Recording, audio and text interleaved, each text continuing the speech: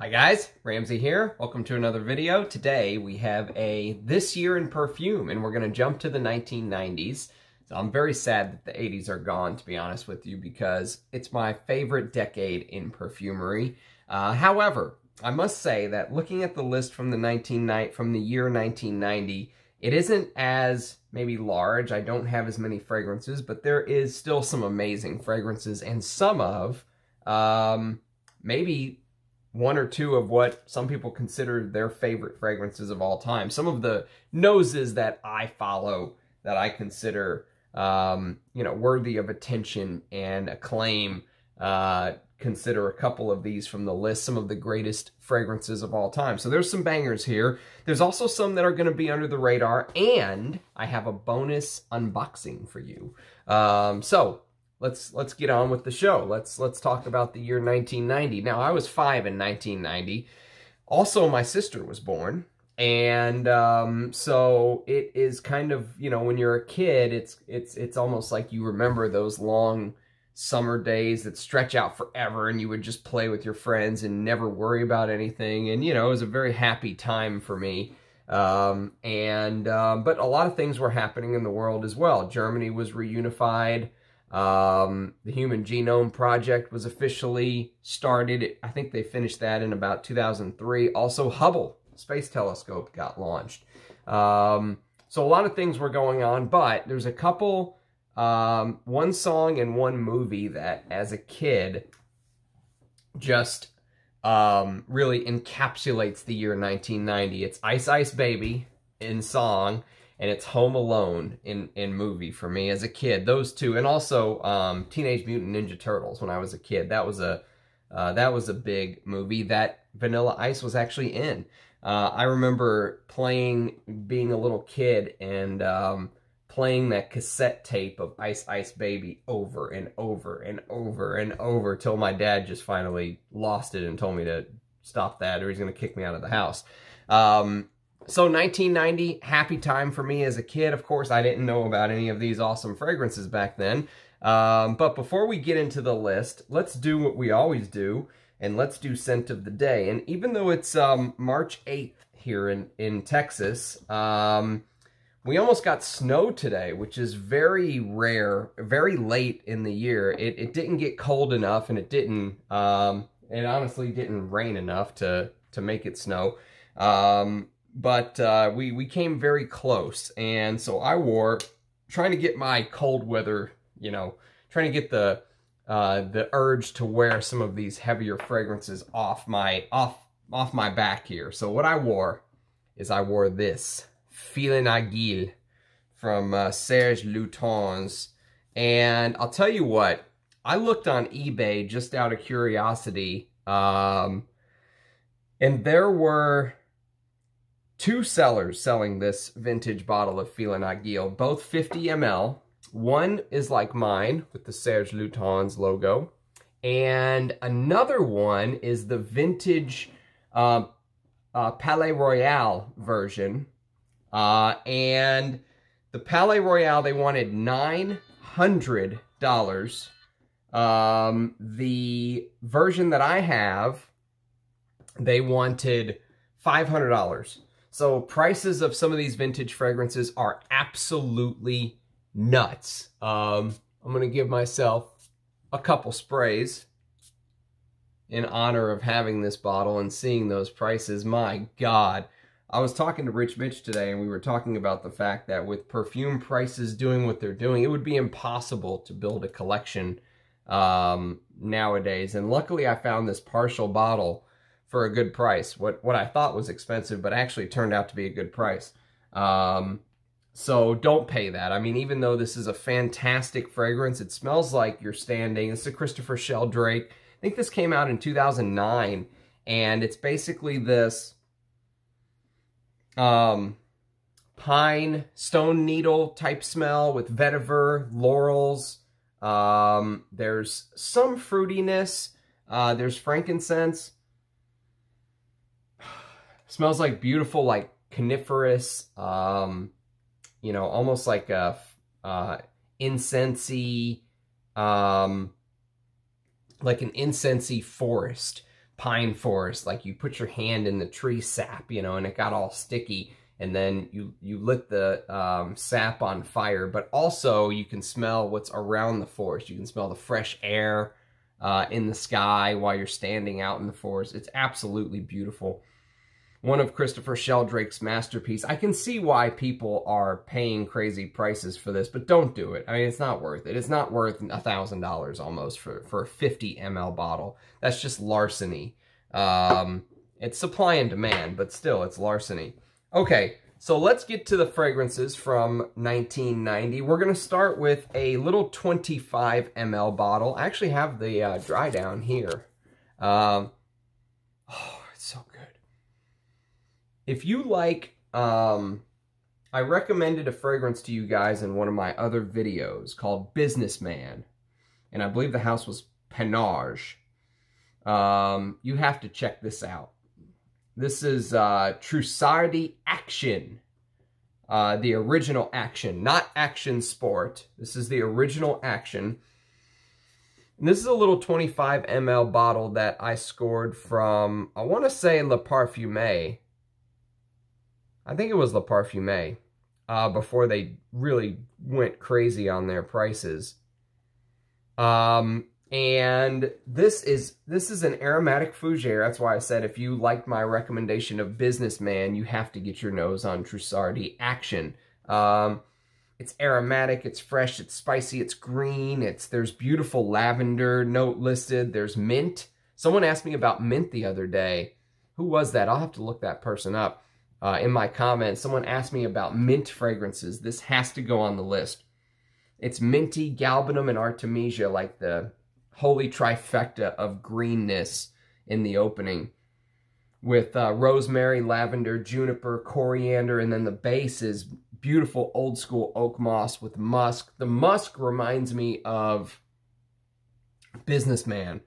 I said there's, uh, I thought there was nitro musks in that fragrance. This is 1990, so there can't be nitro musks, but um, it is, you know, I wish I had a larger bottle than this little 25 ml travel spray, but just very happy to, to even get to experience this. It was unsprayed when I got it, and so there's probably 24 ml worth of juice left or something. I think I wore it to bed once, but it is absolutely beautiful. Um, Trussardi Action, if you like these kind of fragrances, a real hidden gem. Very green, very aromatic. I'm um, going to get a lot of wear in the summer for me this year. Okay, now we're going to go to another summer banger, and this came out in 1990. Of course, it wouldn't be on the list. I'll keep saying it, so just get used to it. Um, and this is Cerruti 1881 for men. Now, if you like fragrances like Creed's Royal Water, which I do, I love that fragrance in the summer you have to try this. And this is a new formula, I want to say. I don't think this is a vintage. Yeah, distributed by Coty. They've done a very good job keeping this fragrance um, relevant and, and, and modern. This um, has this beautiful juniper, cypress, lavender thing going on with galbanum. Um, and then there's vetiver, there's cassia, there's lily of the valley, there's pine, there's oak moss, it's peppery, there's patchouli, uh, musk, and cedar. It's absolutely beautiful. Um, for, for a summer day, uh, Cerruti 1881. It's old school, but if you like vintage fragrances like me, you have to get your nose on uh, Cerruti 1881. Who's the perfumer? Uh, Martin Gras. Uh, very interesting. I think he's done some other things. What else has he done? He did Lapidus Homme. There you go. I mean, that's all you got to know. He did this and Lapidus Homme. Those were the two main hits. Some of the other stuff I don't know. Pierre Cardin, Bleu Marine pour Louis. Doesn't sound interesting. Uh, Chevignon CC for men. I have no idea when that came out. Uh, Bogner Woodman from 2002, never heard of it. Uh, but these two obviously are the hits, 1881 and Lapidus Homme. And this is a very complex fragrance for a cheapie. They've done a million flankers of these. I put 1881 Cerruti Bella Notte on my cheapy list, and that was by Olivier Cresp, but this is the original, and it's very fresh. If you like Royal Water, that's probably the closest comparison because of the juniper. The juniper is very similar. There's also, there's more going on in this in Royal Water. Royal Water has this very high class, posh, but simple formula. Um, this is a little bit more complex, but the ingredients aren't as good. Uh, but it's also, you know, less than a tenth of the price of, the, of my Royal Water bottle. So, um, 1881 Cerruti, both of these, Action and Cerruti, would absolutely shine in the summer. Um, okay, now we're going to go to one that Fragrantica says this is a Jean-Claude Ellena. And I don't know if that's 100% true. If it is, this is a very interesting fragrance. Before he became the head perfumer of Hermes, this is called Rochas Globe. I've got two of these little 15 ml bottles. And Fragrantica says, excuse me, this is a leather fragrance. Um, I don't know if I agree with that. There's definitely leather in the base. Uh, but what's interesting is in the top, there's cumin, which is a Jean-Claude Ellena staple. He loves cumin. He learned from Edmond Roudnitska, who did Eau de Hermes, uh, who, you know, um, basically all of Jean-Claude Ellena's Hermeses are almost like taken off of, well, not even just the Hermeses, even Cartier's declaration gives a, you know, a nod to Eau de Hermes. And um, Rochas Globe does something very similar. I got these two 15 ml bottles for like $7 each or something. Very cheap. Uh, on Fragrance X, they were just getting rid of them, so I figured, what the hey? It's a Jean-Claude Ellena. I mean, how bad could it be? And it's not bad. It's fantastic, actually. It's complex. It's It is a little bit floral. That's what might put some men off. For a man's fragrance, there are a lot of different florals in this. There's Tagetes, there's Lily of of the Valley, there's Geranium, Jasmine, Rose, and Carnation. This is right towards the beginning of the 90s, right when that Carnation note kind of started to just disappear. Um, there's Fir, Balsam Fir, and then the base is leather, sandalwood, labdanum, patchouli, vetiver, musk, and, and, and cedar. I wouldn't call this a leather fragrance. You know, if you said what type of fragrance is this, I wouldn't call it a leather fragrance. I don't know what I would call it, to be honest with you. Um, I'd call it a Jean-Claude Ellena if he actually made this. Um, it, it does have a little bit of his DNA in it, especially that cumin. Um, it's very, very if you've only smelled designers, modern designers, and you smell this, this is going to shock you a little bit um, because it's floral. It's dirty with the cumin, but it's also floral, but it's also resinous. There's also leather. It's a complex fragrance. Um, and if you like complex scents, it's definitely one to get your nose on. I believe it's discontinued as well. Um, so I think you can pick up 100 ml for 70 bucks, something like that. Uh, but these little 15 ml bottles just fit me perfectly because I can try them and wear them and not put up a bunch of money, you know, to uh, to get my nose on it. So, um, Rochas Globe, something I never hear anyone talk about. Uh, and, you know, master perfumer, basically, Jean-Claude Ellena. If you're going to go spend hundreds of dollars on his, you know, Hermes work uh, or his Frederick Malle work, you know, why wouldn't you check out something like uh, like Rochas Globe. Okay, now we're going to go to a Moschino, and it's called Moschino Pour Homme.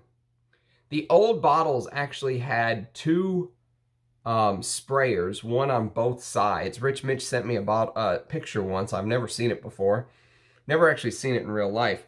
This is a good fragrance, but it has a problem for me. The problem is, is that it's trying to do a Bel Ami thing for me. It feels like it's trying to do Bel Ami. And nothing can do Bel Ami because Bel Ami is my favorite fragrance. You know, Bel Ami and Heritage and stuff like that. Those are my favorites. Um, so it's trying to do a Bel Ami. And it's, it's, it's very close, but I would rather just wear Bel Ami. Um, I have three bottles of Bel Ami now. I don't think I'll ever run out, but if I do, and I just can't find it or I won't pay, you know, what's Bel Ami going to be in 20 years? I don't know. It's going to be $1,500 a bottle? I mean, it might be with the way perfume prices are going. Um, so I'll just wear this. I mean, this will get you in the ballpark. It'll get you in the vicinity. It's definitely a leather with amber. And it has this Italian aromatic top thing that, um, honestly, Trussardi Uomo and um, Fendi Uomo do better for me. I, if I'm going to wear an Italian leather, this is third place. This is behind Trussardi Uomo, behind Fendi Uomo. You know, I'd reach for those first. Um, it's still a good fragrance. It just, it has a, it has a problem with where I place it, you know, rank wise, where, where I want to wear what I want to wear. I'd rather just wear Bel Ami. Then I'd rather just wear Trussardi Uomo or Fendi Uomo. And then, but if I run out of all that, would I happily wear this? Sure. But every time I wear this, I just go, mm, I really wish I was wearing Bel Ami, to be honest with you. It is a good, you know, if this came out today, we would hail this as an amazing fragrance. Now, it's discontinued, and so prices are through the roof, but don't pay crazy prices for this. You can pay crazy prices for Bel Ami, uh, and you can pay crazy prices for Fendi Uomo, um, but don't don't pay crazy prices for, you know, Moschino um, Pour Homme. Uh, it is... Um, lavender, rosemary, clary sage, bergamot, uh, mid of carnation, caraway, orris, rose, and jasmine, base of leather, oak moss, styrax, labdanum, benzoin, cedar, amber, tonka, and what Fragrantica says coconut, which somebody told me you translate that coconut to castoreum. Um, so, uh, you know, if if you're a leather lover like me and you can find this for cheap, might not be a bad idea to try to pick it up. This is a 100 ml bottle, I think. Yeah, this is 100 ml, made in Italy. Um, Euro Italia SRL. I don't really know the uh, Moschino breakdown, but um, either way, good, good, good perfume. Don't pay silly money for it. Um, you know, it just, it, it, when it stacks up to my other favorite leathers, it's not, uh, it's, it just can't win out in that race. Okay, now we're going to get to some of the big boys. Not that these weren't the big boys, but the real big boys. This Fille en Aiguilles is just beautiful. Okay, um, now we're going to go to what, you know, um, what many men who were maybe in their teens or 20s in 1990 would say is probably one of their favorite fragrances, and you couldn't blame them for it. It's the original Chanel Egoiste. Now, I don't have a cap because I bought this from someone and they lost the cap. Um, but I think that this is a Ah, what's the batch code? There you go. I don't know what year this is, but it's a black atomizer. The older ones are silver, but even this black atomizer is good. Chanel doesn't make bad perfumes. Um, but I think this is maybe like a 2020. I'm not sure. Um, but um, this is basically coriander, mahogany wood, mandarin orange, and rosewood with carnation, rose, and cinnamon and then amber, leather, sandalwood, tobacco, and vanilla. It's that sandalwood that everyone tends to focus on, and it is one of the most beautiful sandalwoods um, of all time. It is um, very creamy, very, you know, if you like if you like this fragrance, you have to check out Sandalwood Cologne from Geo F. Trumper. It um, it's it's in this, you know, in this DNA. They they play in the same sandbox. Uh, but uh, east, I actually like wearing this in summer, believe it or not. Um, I like Antaeus in the winter, and, and I like Egoiste in the summer. That may really shock some people because most people wear this in the winter. But I wear this in Trumper Sandalwood in the uh, warmer weather. Works great for me. There is a leather note in the base, but it's not, this is not a leather fragrance. Um, not in the same way that Moschino Pour Homme is a leather fragrance. Um, very wearable, very, you know, the advertising campaign was very um, memorable, let's say, with the women opening up the doors of the, you know, Italian-style house and screaming, Egoiste! Ego East! Uh, if you haven't seen that, you have to check that out. But um, Jacques Polge and Francois Demachy strike again, and... Um, you know, they've created some, they created some absolute bangers at Chanel. You, you got to give it to them. No matter what you think of Francois Demachy, he was there for that. This is the, uh, this is the original EDT, not the, not the, um, Platinum Egoist. I don't really care for Platinum Egoist, to be honest. Uh, but the original Egoist, I, I really like. Okay, now we're going to go to what Chris from Scentland has called his favorite fragrance of all time. That really says something. Um, and again, 1990 release from the house of Karl Lagerfeld. And this is Photo. So Lagerfeld designed this uh, little thing that you could pull, but mine broke, as you can see. So whatever, I'll take it out the old-fashioned way. This is a reformulated bottle from Unilever. Okay, so you Parfums Lagerfeld, but distributed by Unilever. Even these reformulated bottles are going for silly money. Um, $250, $300, you know, insane stuff. I also have the vintage aftershave. You can see the difference in the quality. Look at the cap. You can see right there, the, the it looks like a camera lens that you would adjust and the different font. Take a look at the different font. This is what the vintage font looks like. And this is what the more modern reformulated, and now both of them are discontinued, so it doesn't matter. I also bought these 5ml minis of the vintage, and one day I will do a comparison video between the vintage formula and the more modern formula. Um, but for today, we're just going to talk about it in the This Year in Perfume fragrances for 1990. This is um, a little bit sweet, a little bit floral because of honey and, and, and uh, rose and jasmine and carnation and cyclamen. Um, it also has oak moss in the base with sandalwood and cedar. Uh, that sandalwood thing was very popular with Egoist. But this, what, what, what makes this fragrance unique is the use of aldehydes. Very, um, very elegant, uh, very uplifting aldehydes in the top with galbanum. They're a little bit green, a little bit citrus, a little bit lavender uh, with lemon and mandarin orange.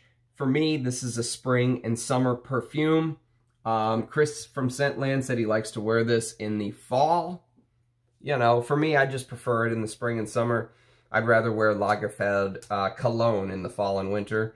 But um, it's it's very um, very likable.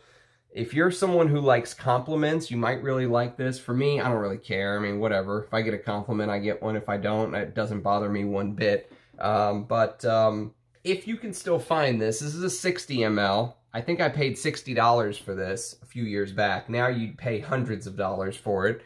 Um, but as a collector, you know, is it worth getting? Yes, I think it is. But try to find an older bottle. Don't get the Unilever one if you can. If you can find one of these with the older writing, I think this one is distributed by um, Parfums International. You can see the shorter note listing there. If you can find one of these older bottles, get it. You know, it's um, it's it's worth it. It's It seems like it's worth it, but I'll do a comparison video for you guys so you know for sure one day. Okay, and now the one you've all been waiting for. Um, so I said there's a couple fragrances that, you know, people that I really trust say it's their favorite fragrance of all time. This is Chris from Scentland. And if you know what came out in the year 1990, this is Rich Mitch from the Rich Mitch channel. Um, the Duck. Balenciaga Pour Homme. And I completely understand why this fragrance, of all the fragrances on this list, this is probably my favorite. Um, it is, it is so stunning. It's so,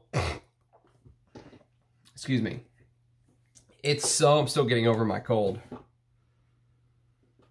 It's so unique. You know, um, there, there, uh, I have gotten so many people asking me, is there anything like Balenciaga Pour Homme that uh, I can get that, um, um, you know, that I, that, that, that smells similar? And I have to say no, there's literally nothing, there's literally nothing like Balenciaga Pour Homme. It is, um, it is unique in the sense, if you will. There, there is one fragrance that I own that in the dry down tends to get close to Balenciaga Pour Homme. Um, and that is a fragrance called um, Aubusson Pour Homme. A-U-B-U-S-S-O-N. I don't know why I'm writing it for you guys. A-U-B-U-S-S-O-N. Aubusson Pour Homme. The opening is not close. It's also much fresher. It doesn't get as dense as this. The word that uh, Thomas from Early Greek used, I have a tester bottle, by the way. I think the juice is about, yeah, the juice is about right here on this 100 ml. So I got a ways to go with this bad boy. Um, but there's the notes. Where's the notes? Let me show it to you guys in English, I guess. There's the notes. There's the official note tree. Excuse me. Of Balenciaga Pour Homme. Ceylon cinnamon, which Euro Rose explained to me is a certain type of cinnamon from a certain part of the world. And this cinnamon does smell very unique. The cinnamon in this um, is is very unique. Also, I should mention, some people compare this to Jacques Bogart Witness. Witness is not as close as Aubusson Pour Homme is. Aubusson Pour Homme gets a little bit closer to this in the dry down. It's the closest thing to Balenciaga Pour Homme, but they're not the same. If you want Balenciaga Pour Homme, you have to buy Balenciaga Pour Homme. There's just nothing, there's nothing like this. And categorizing this is a problem. Um, Fragrantica says amber woody. I don't know about that. To me, this feels like Gerard Anthony, who, bravo Gerard Anthony, by the way, creating something like this. I mean, it, it, it all-time great material here.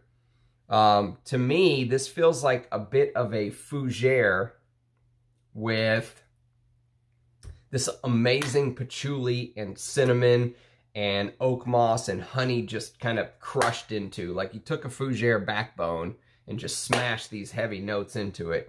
Um, cinnamon is outstanding. The, the cinnamon is so good in this. I've never smelled cinnamon so, I've never smelled such cinnamon in patchouli.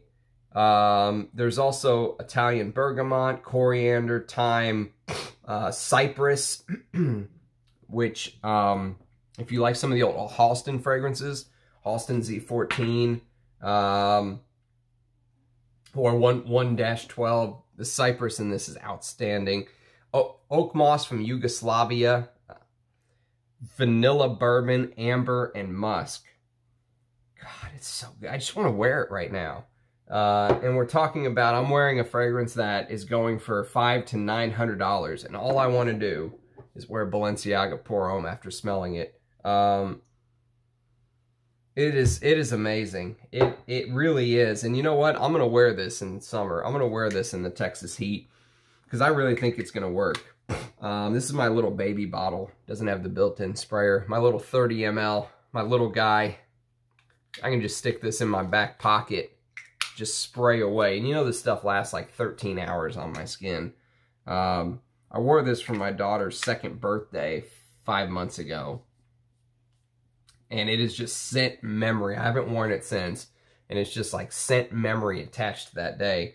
Um, Balenciaga Pour Homme, I mean, so 1990, not not the fullest years in my collection, um, but some real bangers here. You got to give it to it. All right, let's do the unboxing, shall we? Excuse me, I'm going to grab a sip while I unbox this. Oh, this cold really got me. Um, all right, so I have an idea of what this is. And um, I think it's a mini. I think it's a mini. But let's see. Got my unboxing knife. Okay. Let's see what we got here.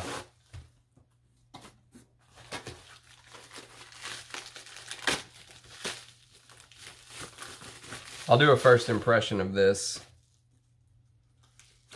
Thank you for your purchase. All right, let me open this bad boy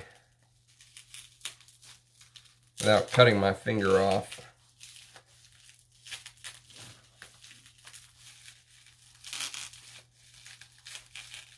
How they wrap the holy Jesus out of it.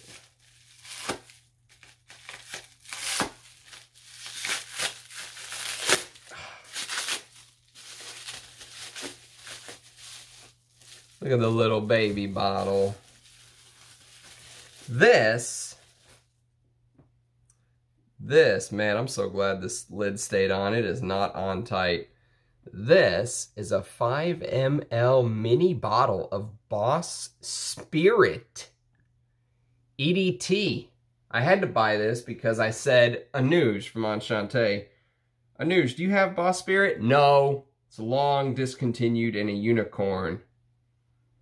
I said, okay, I got to try it. Boss Boss Spirit is um, sunshine in a bottle, according to um, according to Chris from Scentland. By the way, Boss Spirit is supposed to smell very similar to another Gerard Anthony fragrance that I absolutely love called Salvador by Salvador Dali. And um, that is a very uplifting fragrance that I, I will be um, I will be wearing this summer and winter. This is supposed to be very aromatic and herbal and spicy. Um, there's a leather in the base. There is um, Artemisia, Wormwood, Galbanum, and Mint. How's that for a four trifecta?